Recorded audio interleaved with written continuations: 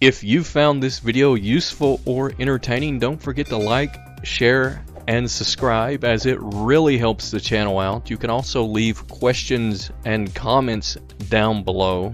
Until next time, take care, thanks for watching, and bye bye.